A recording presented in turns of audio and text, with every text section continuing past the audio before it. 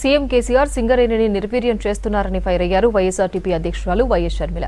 కాళేశ్వరం ప్రాజెక్టుతో చుక్క నీరు ఇవ్వకున్నా భూములు లాక్కున్నారని ఆరోపించారు.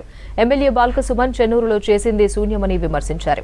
చెన్నూరులో శిలాఫలకాలు తప్ప అభివృద్ధి కనిపించడం లేదన్నారు. ఎనిమిది సంవత్సరాలుగా కేసీఆర్ గారు ముఖ్యమంత్రిగా ఉన్నారు. ఒక్కసారి కాదు రెండు సార్లు కేసీఆర్ గారికి ఓట్లేసి గెలిపించారు. మరి కేసీఆర్ గారు ఏం చేసిండు? మీ గ్రామానికి ఏం చేసిండు? మీ కుటుంబాలకు ఏం చేసిండు? మీ బిడ్డలకు ఏం చేసిండు?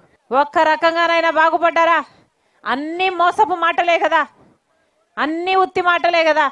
రుణమాఫీ చేస్తానన్నాడు. చేసిండన్నా? మహిళా సంఘాలకు సున్నా వడ్డీకే రుణాలు ఇస్తానన్నాడు. ఇచ్చిండా తల్లి? వడ్డీ మీరు కడుతున్నారా? సారు కడుతున్నాడా? మీరే కడుతున్నారు. అది పూర్తి వడ్డీ మీరే కడుతున్నారు. కేజీ టు పీజీ ఉచిత విద్య అన్నాడు. CBSE syllabus English medium all free అన్నాడు. ఉందా బిడ్డలకు? ఇంటిగా ఉద్యోగం అన్నాడు. ఇచ్చిండా?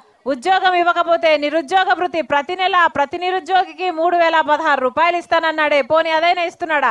యాభై ఏడేళ్ళకే పెన్షన్లు అన్నాడు అదైనా ఇచ్చిండా? ఉచితంగానే ఎరువులు ఇస్తానన్నాడు. ఇచ్చిండా? మైనారిటీలకు పన్నెండు పర్సెంట్ రిజర్వేషన్ ఇస్తానన్నాడు. ఇచ్చిండా? అసలు కేసీఆర్ గారు జన్మకి ఒక్క మాట అయినా నిలబెట్టుకున్నాడా? అన్నీ ఉత్త మాటలే కదా. అన్నీ మోసపు మాటలే కదా. ఏ మాట అయినా ఏ పథకమైనా ఏ వాగ్దానమైనా ఎన్నికల కోసమే. మీ ఓట్ల కోసమే. ఎన్నికలు అయిపోయినాక మళ్ళీ ఒక్కసారైనా ఒక్క హామీ అయినా నిలబెట్టుకుంటాడా కేసీఆర్ సారు? మీరే చూస్తున్నారు కదా ఇక్కడ జైపూర్ ప్లాంట్ ఉంది.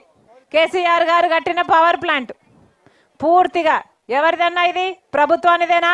మరి ప్రభుత్వానిది అంటే ఎవరిదన్నా? ప్రజలది కదా. ఏ భూములు ఇస్తే కట్టారు దీన్ని? మీ భూములు ఇస్తేనే కట్టిండ్రు కదా. ఎన్ని మాటలు చెప్పారు అప్పుడు? కనీసం ఉద్యోగాలైనా ఇచ్చిండా చక్కగా? ఎన్ని మాటలు చెప్పాడప్పుడు మీరు భూములు ఇవ్వండి అని చెప్పి ఆ భూములు కూడా తక్కువ ధరకే తీసుకుని ఉద్యోగాలు ఇస్తామని చెప్పి ఇప్పటి వరకు సరిగ్గా ఒక్క ఒక్క పర్మనెంట్ ఉద్యోగమైనా ఇచ్చిండ్రా?